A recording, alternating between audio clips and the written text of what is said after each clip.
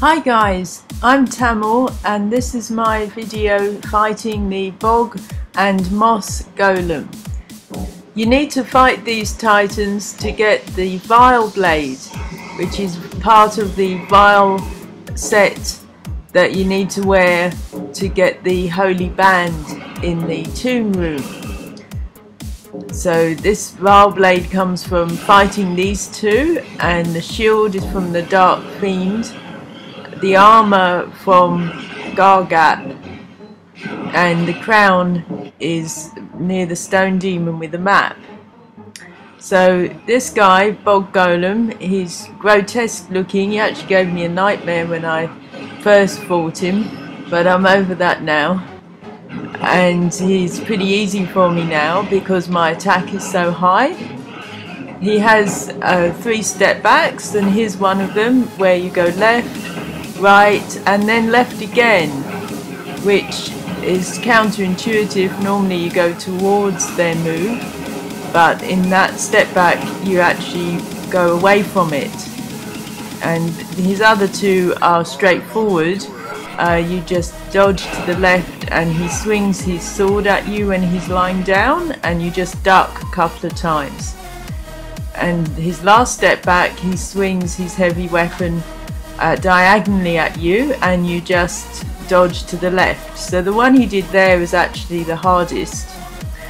And when you've defeated him, he transforms into the Moss Golem, who is a monstrosity.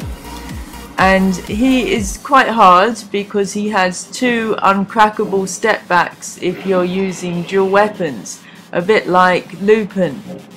Uh, one of them is crackable though, it's uh, ducking his swipes, but the other two are not, so you need to use super and magic to defeat him. You'll see if he lifts up his paws towards you like he's going to do a clap that Goliath does, and that is uncrackable. When Goliath does it, there's his step back here, which um, is, is crackable. Uh, when Goliath does the clap, then you can duck it. But when this Titan does it, you can't. There's no avoiding it. And if you have low health points like I keep, then you won't survive it. So the best way, if you see he's going to do an uncrackable step back, just press super or magic and then you should get through him. It does help having high attack. I definitely recommend putting as many stat points as you can into attack. So once you've defeated these two, then you can get the Vile Blade. And the other thing to be aware of, you can't change your health um, in between the titans. So if you need to replenish your health, that's not possible. So if you do get hit, then you need to use a healing ring.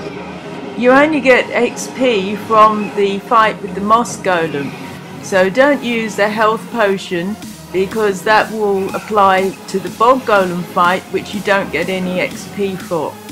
That's it from me guys, hope you enjoyed the video and if you did please like, comment and subscribe to Infinity Blade Masters and my own channel, TamL channel. Thanks for watching. See you next time.